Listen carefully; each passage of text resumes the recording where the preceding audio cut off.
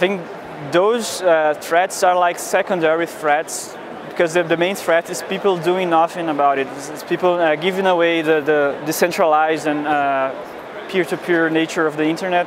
That was the nature of it, and now they're slowly giving it away and letting it go and thinking that it's normal.